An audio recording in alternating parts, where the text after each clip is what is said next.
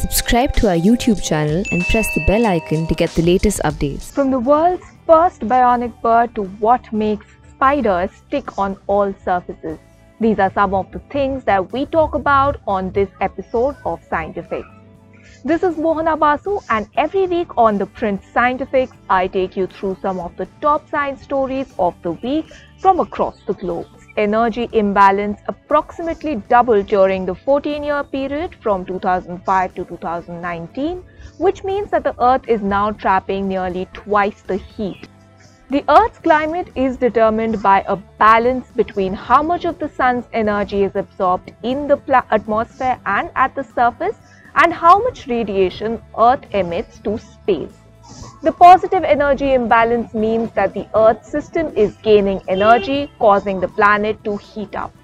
Scientists at NASA and US National Oceanic and Atmospheric Administration compared data from two independent measurements.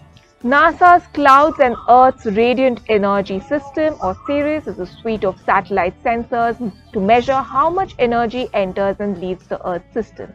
In addition, data from a global array of floats called ARGO enables accurate estimate of the rate at which the world's oceans are heating up. Since approximately 90% of the excess energy from the energy imbalance ends up in the ocean, the overall trends of incoming and outgoing radiation should broadly agree with the changes in ocean heat content. Increases in emissions of greenhouse gases such as carbon dioxide and methane due to the human due to human activity trap heat in the atmosphere, capturing outgoing radiation that would otherwise escape into space.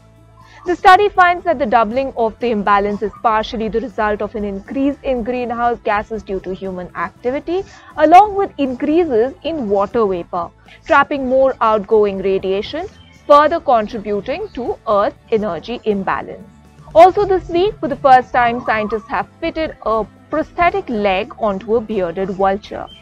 Although all bionic aids have so far been used in humans, the technique known as osseointegration or direct skeletal attachment has now been used for the very first time in a bearded vulture.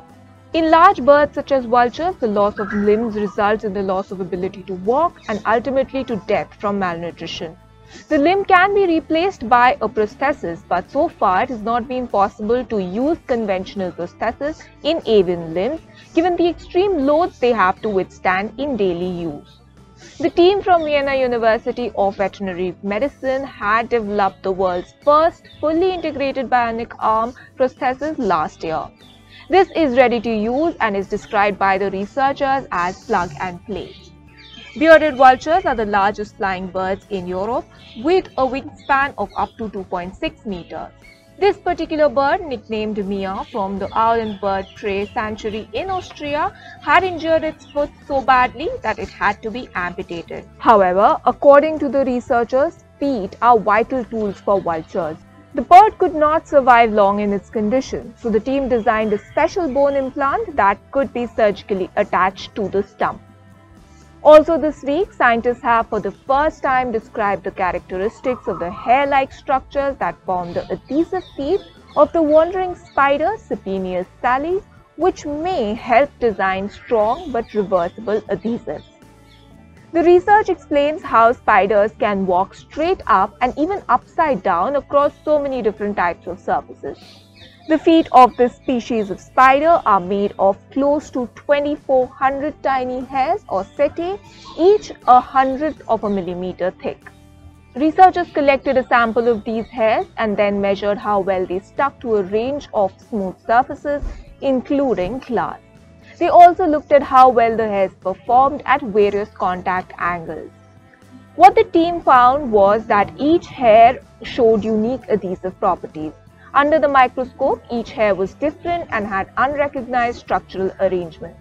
The team believes that this variety may be key to how spiders can climb so many surface types. Although it is still very difficult to fabricate the nanostructures like those of the spider, the team believes the research can help achieve the stability and reliability of natural materials. Meanwhile, a new study found that coelacanths, an enormous fish that lives deep in the ocean, can live up to a 100 years, five times longer than earlier believed.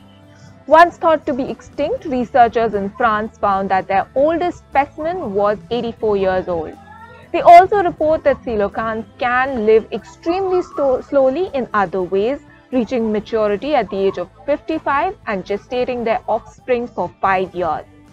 The new age estimations also allowed researchers to reappraise the coelacanth's body growth, which happens to be one of the slowest among marine fish of similar size. Earlier studies attempted to aid coelacanths by directly observing growth rings on the scales of a small sample of 12 specimens. Those studies led to the notion that the fish didn't live more than 20 years.